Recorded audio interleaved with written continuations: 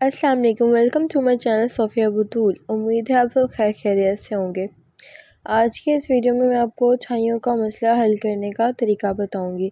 अगर आपको बहुत ज़्यादा मसला है, आपको अपना मुँह छुपाना पड़ता है लोगों से और उनके सामने जाते शर्मिंदगी होती है तो आपको ये वीडियो लास्ट तक देखनी है। आपने स्किप नहीं करनी, तभी आपको सही तरह से पता चलेगा कि हमने क्या क्या ऐड किया है। तो ये हमारा, जो हमारी प्रॉब्लम है, छाइयों की ख़त्म हुई है। सेवन डेज़ में आपकी अच्छाइयाँ ख़त्म हो जाएँगी। सबसे पहले आपने अंडा ले लेना, अंडा वेस्ट नहीं करना, पका के बेशक आप खा लें। उसके बाद ये वाइट वाइट इसके अंदर होता है, ये निकाल लें और इसे फेंक दें।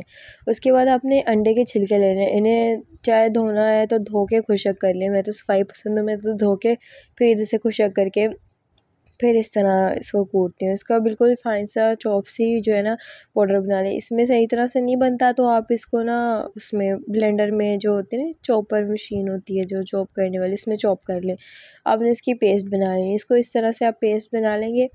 पेस्ट बनाने के बाद आपने अंगूर, अंगूरी जो सिरका होता है ना, विनीगर, वो लेना है आपने, वो लेके आपने इसके अंदर ऐड कर लेना देखिए बेसिक सी चीज़ें बता रही हूँ मैं, बहुत ही सस्ती चीज़ें बता रही हूँ जिससे आपको रिज़ल्ट मिलेंगे।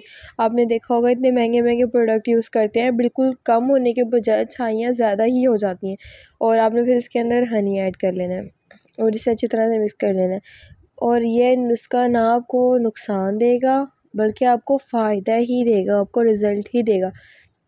तो आप ये सेवन डेज़ यूज़ करके देखें इंशाल्लाह आपको बहुत ही ज़बरदस्त रिज़ल्ट मिलने वाले हैं। आप कहेंगे कि वाकई बदूल ने, बतूल ने आपको बहुत ही अच्छा नुस्खा बताया है। तो आप ये ट्राई करके देखें इंशाल्लाह आपको बहुत ज़बरदस्त रिज़ल्ट मिलेंगे। उम्मीद है मेरी ये वीडियो आपको पसंद आई होगी।